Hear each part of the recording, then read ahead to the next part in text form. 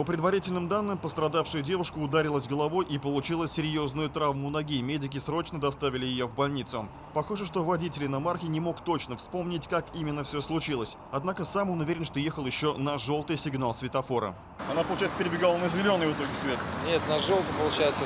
Одновременно. Желтый загорелся. Зеленый, желтый. А вы двигались. Да. Разумеется, желтый свет мог гореть только для машин и уж никак не для пешеходов. Тогда остается вопросом, кто же здесь виноват, перебегавший дорогу человек или все же излишне торопливый водитель. Я пытался уходить, пытался, и она выбежала. Она вроде назад, вперед, и я задел. Возможно, что решение инспекторов ГАИ будет основано на показаниях очевидцев, если у кого-нибудь не найдется записи видеорегистратора. Стал очевидцем события и хочет, чтобы о нем узнали? Присылай фото и видео, а также вступай в нашу группу ВКонтакте «Мобильный репортер 24».